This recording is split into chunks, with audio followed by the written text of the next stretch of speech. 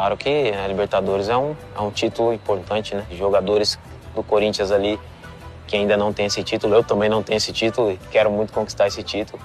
Mas não é uma coisa que hoje, no momento, a gente está falando em priorizar e ir para todas as competições para vencer, se for possível todas, maravilhoso, né? Você acha que o Corinthians já tá no mesmo, com esses reforços que chegaram, no mesmo patamar dos três clubes que estão aí com dinheiro e um elenco pesado, Flamengo, Galo e Palmeiras, ou falta alguma coisinha ainda? É que esses times vêm ganhando título, né? títulos né?